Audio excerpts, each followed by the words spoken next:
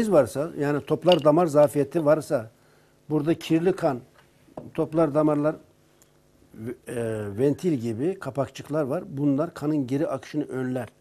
Burada bir zafiyet varsa ne olur? Toplar damar e, şey kan toplar damarda birikir, yoğunlaşır. Kirli kan e, varize sebep olur. Hocam e, tekrardan izleyicilerimize hatırlatalım. Ekranlarını yeni açanlar varsa, TR1 ekranlarını yeni izleyenler varsa bitki uzmanı İbrahim Gökçek'le e, beyin fonksiyonlarını çalıştırmaya, bacaklardaki damar yollarındaki tıkanıklığı ve e, varislerle ilgili bilgiler ve bize hastalıklardan gıda takviyeleriyle, gıda sağlıklı yollarla, doğal yollarla nasıl iyileşmemiz gerektiğini anlatıyor ve e, canlı yayın telefonlarından bizleri arayıp canlı yayın telefonlarımıza katılabilirsiniz.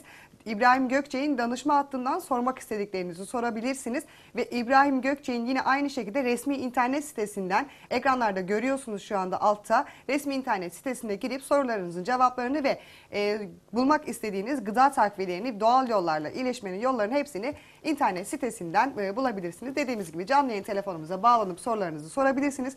Danışma hattından bilgi alabilirsiniz. Resmi internet sitesine de girip e, gıda takviyeleri hakkında bilgi alabilirsiniz diyelim ve tekrardan kestanemize dönelim hocam. Evet bu at kestanesi normal yediğimiz kestane değil. Çok acı olduğu için bu yenmez. Evet. Ee, ne yapılabilir? Variz ve venöz yetmezlikte. Evet. Venöz yetmezlik kılcal damarlarda kan dolaşımı zafiyeti nedeniyle e, baldır ve bacaklarda sızmalar olur. Kesinlikle. Yani neye benzer sızma?